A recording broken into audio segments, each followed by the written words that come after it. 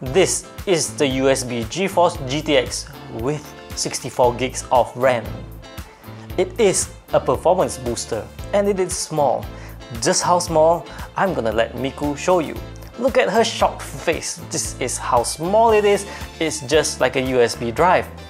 How it works is that you connect this USB drive to a system with a GeForce GTX GPU and you'll get performance boost and the performance boost depends on which USB port you connect to, whether it's 2.0, 3 or 3.1.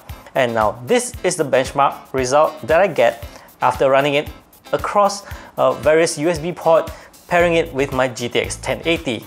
If you're running on SLI configuration, then you'll need two of these USB drives, one for each card. So for a quad SLI setup, you'll need four and your USB port must be the same. If the first one uses USB 3.1, the rest has to be on 3.1. It will downclock to the lowest common denominator. If the lowest is on USB 2.0, all of them will run at USB 2.0. The USB GeForce GTX graphics card boosts mining performance as well.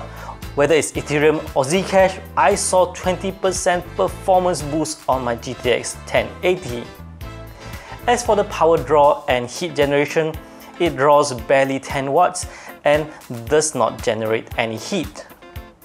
And just how much is this USB GeForce GTX graphics card? It's only RM399 and that's a stunning offer from Nvidia. Ha, I'm sure you guys got it by now. This is nothing but just a USB drive.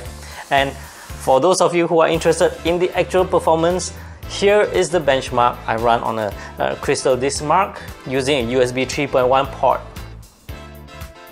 Alright, so that's it for this video and I'll see you in my upcoming videos. Thank you for watching. Bye bye.